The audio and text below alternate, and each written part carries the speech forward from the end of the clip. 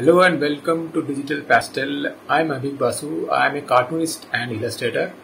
And in this channel, I share cartoon speed painting for entertainment purpose. So today I'll be doing a fan art of Sophocles Sarcophagus.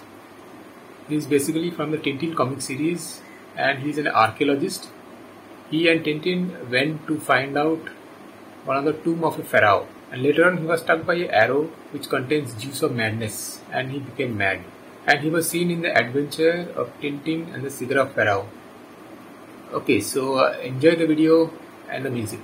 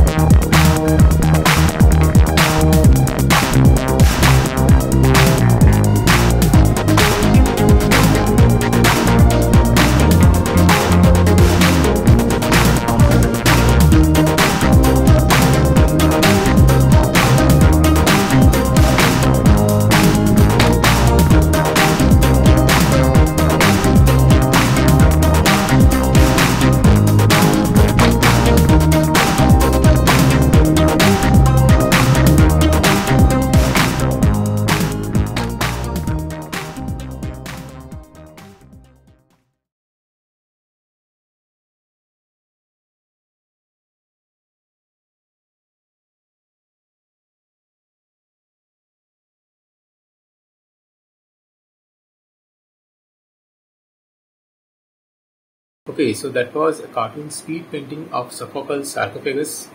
Hope you have enjoyed the video. If yes, then please click on the digital pastel logo on top to subscribe. Click on the like button, share with friends, put your comments below if you want. Okay, so that's it for today. Meet you in the next video.